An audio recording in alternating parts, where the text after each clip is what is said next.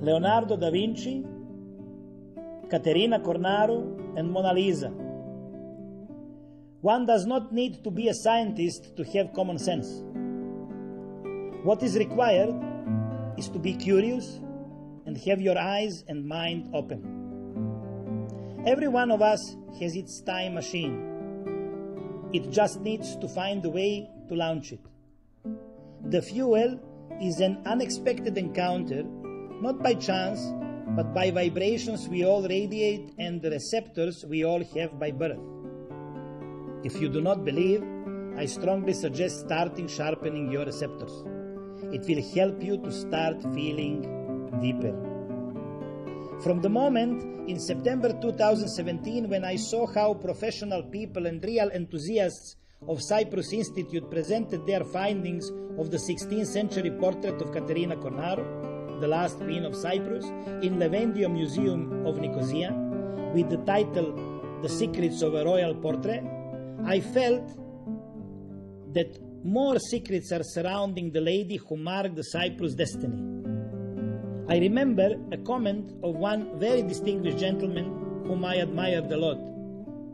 He said, It would be better if we stayed kingdom.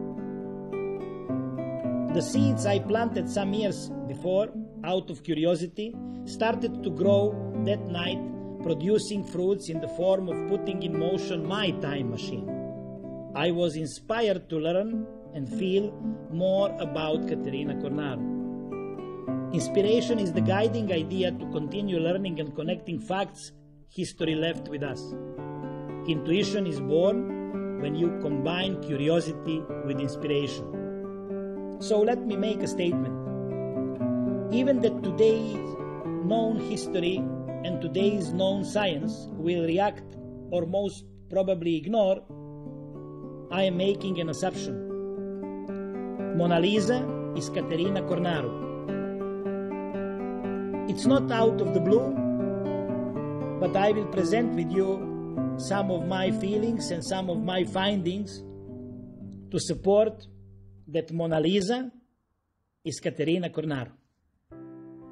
The story begins in 1481 when then 29 years old and still not a well known artist Leonardo da Vinci arrived in Cyprus through the port of Famagusta. We do not know how did Caterina and Leonardo meet.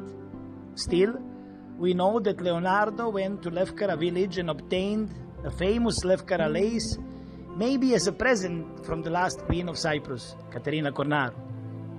She was 27 years old then, and widowed woman from 1474, losing both her husband King James II, the bastard, and her only child, a son, King James III. Years later, Leonardo da Vinci used Lefkara lace to commission the Last Supper mural at the Dome Cathedral of Milano. One common sensed person can only imagine what two persons, 27 and 29 years old, one talented artist and one lonely, Mona, Moni, Moni is lonely in Greek, woman as Caterina, were talking and doing at this magnificent island with breathtaking sunsets and sunrises. The complete story will be presented to you in the following video and will be left to grow till the revelation where the legend becomes the truth comes. Leonardo, Caterina, and Mona, lonely woman Lisa.